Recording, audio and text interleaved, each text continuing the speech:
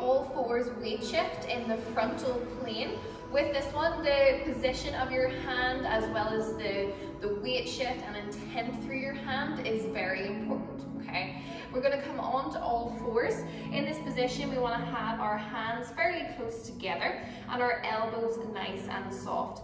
In this position, it's really important that we're transferring our weight so that our, um, our pressure comes into the fingertips and the palm. So it's nearly at the stage that as you transfer your weight forward, you should have a slight lift just off the heel of your hand there as well.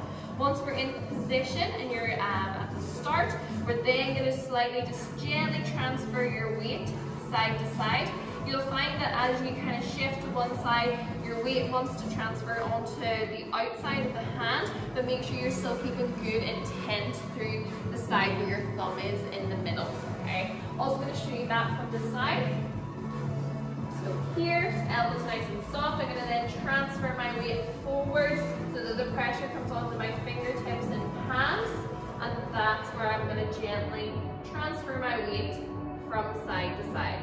So you will find the more you do this, you'll want to sort of bring your weight back so that you're using the heel of your hands instead. Make sure that you're staying